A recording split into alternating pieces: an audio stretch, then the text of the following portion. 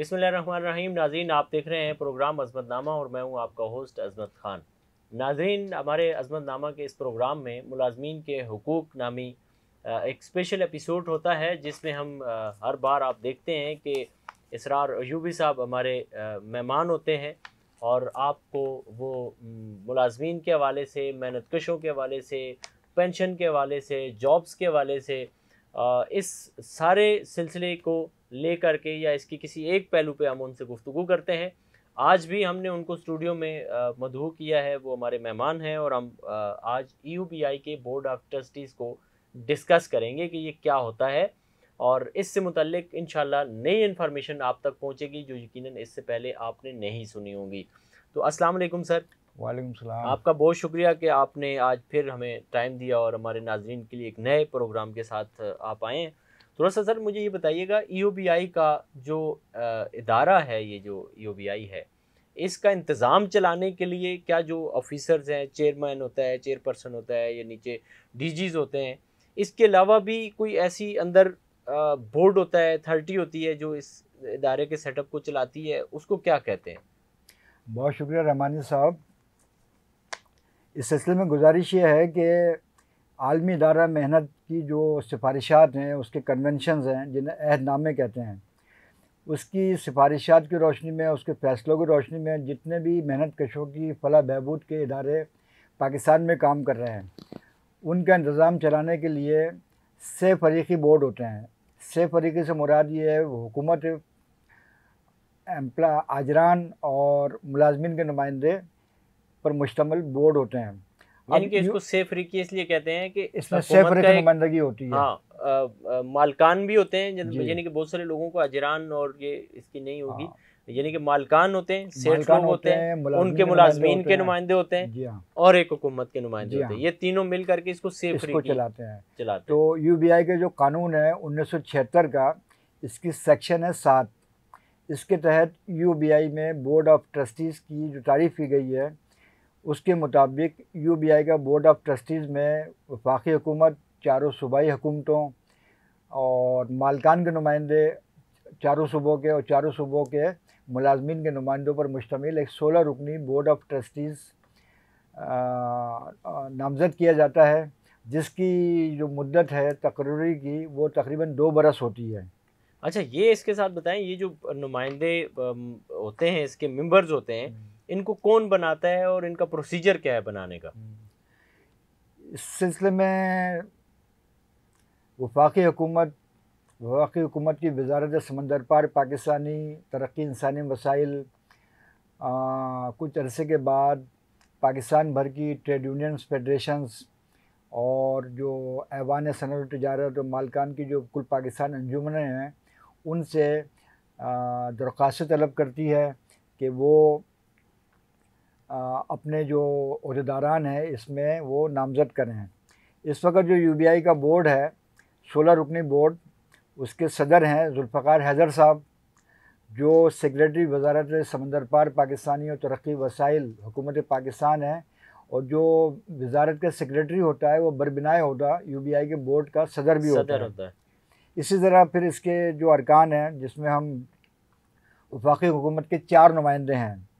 जिसमें joint secretary वजारत समंदर पार Pakistani financial adviser वजारत समंदर पार पाकिस्तानी और यूबीआई की चेयरमैन या यूबीआई की चेयरपर्सन उसके बाद चारों जो सूबे हैं, उसके जो महकमा मेहनत के सेक्रेटरीज होते हैं तो वो इसके नुमाइंदगी करते हैं यू के बोर्ड ऑफ़ ट्रस्टीज़ में, जिसमें सेक्रेटरी मेहनत सूबा सिंध सेक्रेटरी मेहनत सूबा पंजाब सेक्रेटरी मेहनत सूबा खैबर पख्तूनख्वा सेक्रेटरी मेहनत सूबा बलूचिस्तान। तो ये एक लिहाज से पूरे जो हुकूमत है वफाकी हुकूमत और सूबाई हुकूमत, उसकी मुकम्मल नुमाइंदगी इसमें मौजूद है। अब इसका जो दूसरा हिस्सा है, दूसरा फरीक है, वो है मालकान के नुमाइंदे। मालकान के नुमाइंदे जो हैं इस वक्त मोहम्मद तारिक रफ़ी साहब जो हैं, वो सुबह सिंध की नुमाइंदगी करते हैं। मालकान की मलिक ताहिर जावेद साहब सुबह पंजाब के मालकान की नुमाइंदगी करते हैं बोर्ड में। डॉक्टर मोहम्मद यूसुफ सरवर साहब हैं, जो सुबह खैबर पख्तूनख्वा के मालकान की नुमाइंदगी करते हैं। इसी तरह ग़ुलाम फ़ारूक साहब हैं, जो बलूचिस्तान के एक बड़े मशहूर सनतकार हैं, वो बलूचिस्तान के मालकान की नुमाइंदगी करते हैं। अब मुलाजमीन के नुमाइंदे, यानी इसके जो तीसरा फरीक है, जो शौकत अली साहब हैं, ये जनरल सेक्रेटरी और पाकिस्तान ट्रेड यूनियन कांग्रेस के, ये सूबा सिंध के जो मुलाजमीन हैं, उनकी नुमाइंदगी करते हैं, यूबीआई के बोर्ड में। सरजमीन अफगानी साहब हैं ये Pakistan mine workers federation Quetta के जनरल सेक्रेटरी हैं। ये नुमाइंदगी करते हैं सूबा बलिस्तान के मुलाजमीन की।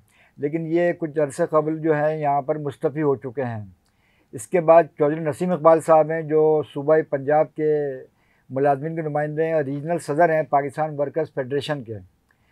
फिर मोहम्मद इकबाल साहब हैं, जो सदर मुतदा लेबर फेडरेशन है, पेशावर के, वो सूबा सरहद के सूबा खैबर पख्तूनख्वा के मुलाजमीन की नुमाइंदगी यू बी आई के बोर्ड में करते हैं। अच्छा इसका ये जो हो गए इनके मेम्बरान इसके इसके बाद ये बताइएगा ये जो सोलह लोग हैं ये ज़ाहिर है कोई जो अहम फैसले होते हैं वो। करते हैं इनका इजलास कब होता है?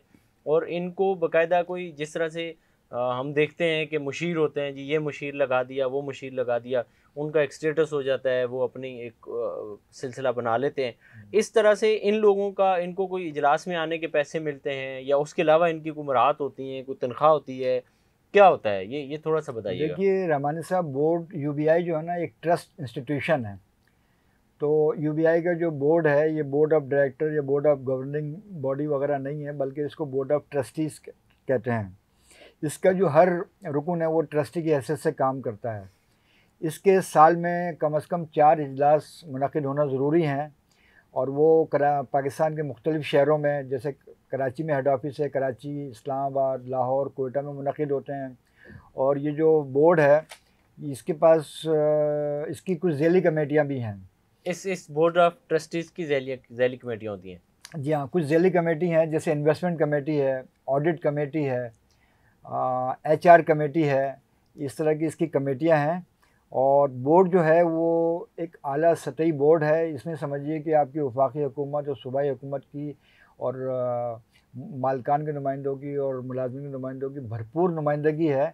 तो इसके पास जो इख्तियार भी जो हैं, लामहदूद हैं, जिसमें ये यू बी आई के सालाना विज़िट की मंजूरी देते हैं, उसके ऑडिट अकाउंट्स की मंजूरी देते हैं यू बी आई की सालाना रिपोर्ट और इसके जितने भी इंतज़ामी माली फ़ैसले हैं, उसकी ये मंजूरी देकर उसकी रिपोर्ट जो है वफाकी हुकूमत को पेश करते हैं। अच्छा एक और मुझे इसके साथ ये बताएँ कि जब ये इनके इजलास होते हैं और ये जो रिपोर्ट्स का आप ज़िक्र कर रहे हैं ये अब ज़ाहिर है जब आर्टिकल नाइनटीन ए आया या फिर इस तरह के राइट टू इन्फॉर्मेशन के जितने भी एक्ट आए तरमीम हुई उनमें तो उसके तहत तो वैसे भी हर सिटीज़न को ये हक है कि वो किसी भी चीज़ को जानने का हक रखता है एविडेंस लेकिन उसके अलावा भी हम देखते हैं कि कोई भी इदारा है, उसकी ट्रांसपेरेंसी के लिए सबसे अहम ये है कि उसके जो जितने भी डॉक्यूमेंटेशन है या मिनट्स हैं, या फैसले हैं, वो वेबसाइट पे होने चाहिए।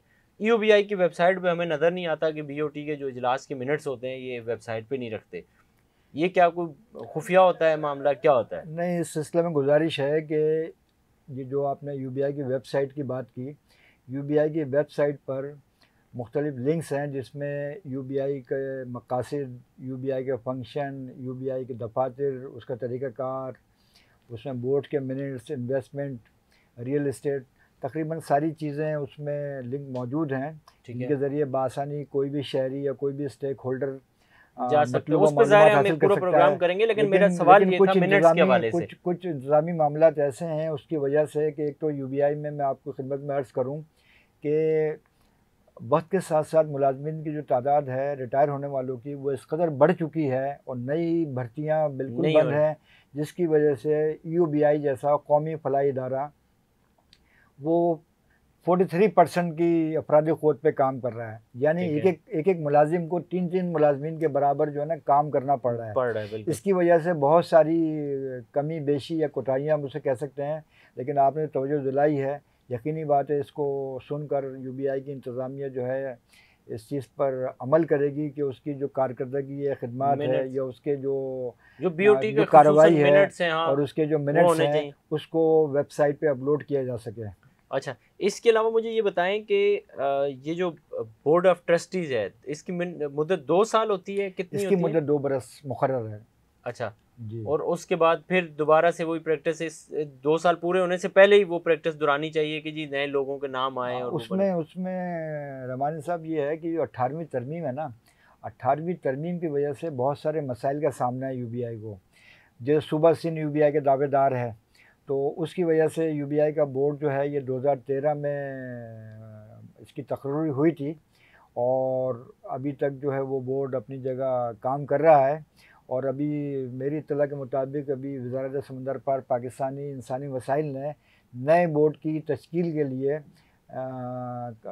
आगाज़ कर दिया है और उसके लिए जो है वो नॉमिनेशन नॉमिनेशन मांगी जा रही हैं। मुख्तलिफ़ पाकिस्तान भर की फेडरेशन से और ख़ास तौर पर जो मुलाजमिन के नुमाइंदे उनके लिए। जी जी। अब ये है कि आने वाले वक्त में ये बात साबित होगी कि नया बोर्ड कब तश्कील पाता है।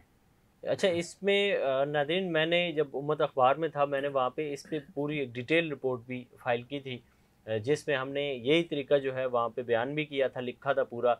और फिर इसमें हमने लिखा था जी उस वक्त गालबंद मुझे याद आता है कि आठ या नौ बरस हुए थे। आ, हमने लिखा जी आठ से नौ बरस हो गए हैं और अभी तक ये जो बोर्ड है ये चला आ रहा है और इसके मम्बरान का सिलसिला चला आ रहा है। तो इस इसमें आप कुछ समझते हैं मज़ीद इसकी कोई चीज़ है जो हमें बतानी चाहिए लोगों को? बीओटी के हवाले से खसूस इसे शॉर्ट फॉर्म में बीओटी कहते हैं। देखिए जी बोर्ड ऑफ़ ट्रस्टीज़ जो है, जैसे इस वक्त आपको पता है कि तमाम जो सरकारी इदारे हैं और हुकूमत एक बड़े सियासी बहरान का सब शिकार हैं, उसकी वजह गैर यकीनी की कैफियत है।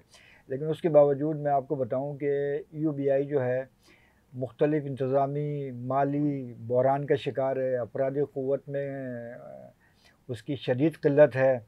और उसके बाद जो है ये जो हमारे मालकान हैं सनदी इदारों के आजरान हैं हम्म। ये जो है अपना जो ज़िम्मेदारी है कानूनी ज़िम्मेदारी कंट्रीब्यूशन अदा करना कम अज़ कम उजरत के हिसाब से जैसे मौजूदा कम अज़ कम उजरत जो है वो पच्चीस हज़ार रुपये है। जी जी। इसके मुताबिक उन्हें अपना फ़ी मुलाजिम बारह सौ पचास रुपये यू बी आई को अदा करना चाहिए। जी लेकिन बजाय वो अपने मुलाजिम हाँ, का ज़िम्मेदारी पूरी करें तो वो कानूनी मोशगाफियाँ और दीगर एतराज़ा उठाकर जो है।